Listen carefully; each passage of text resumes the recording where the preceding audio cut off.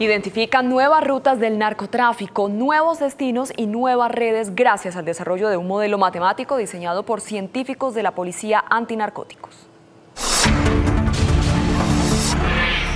Durante cinco años, investigadores de la Policía Nacional y economistas de la Universidad Estatal de Michigan analizaron los precios de la cocaína en laboratorios, rutas y sitios de embarque.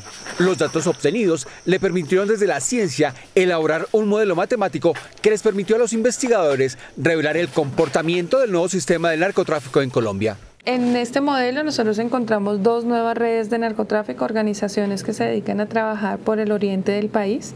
Encontramos 41 eh, nuevas rutas o, o, flujos contrarios a lo que nosotros conocemos y tres puntos de transbordo en Colombia y en el exterior. Esta mujer que hace seis años dirige el Centro de Estudios Estratégicos de la Policía Antinarcóticos asegura que estas dos nuevas redes de narcotráfico están ubicadas en Puerto Carreño, Puerto Inírida, Buenaventura y Puerto Asís. Pueden estar relacionados con carteles, pero digamos que son muchos dueños de ruta hacia eh, África y Europa. Digamos que hacen compras en el país y pueden salir principalmente por la ruta oriental hacia el río Orinoco, que se convierte en una autopista de salida hasta donde termina el continente.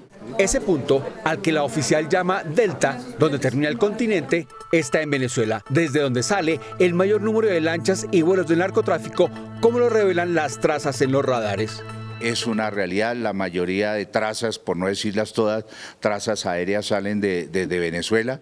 El estudio les permitió encontrar 41 nuevas rutas que van en contravía de la logística de transporte de cualquier producto. Dos de ellas son Buenaventura, Cúcuta, con centros de acopio en Palmira y Barranca Bermeja. Otra de las rutas de doble vía usadas por las nuevas redes de narcotráfico es Cartagena-Puerto Carreño, donde Cartagena, además de ser usada para la salida marítima de la cocaína, es también usada para entrar el estupefaciente que traen por lanchas desde otros puertos para llevar al interior del país y a la frontera con Venezuela. La idea no es únicamente realizar incautaciones, sino poder judicializar las organizaciones que se dedican al tráfico.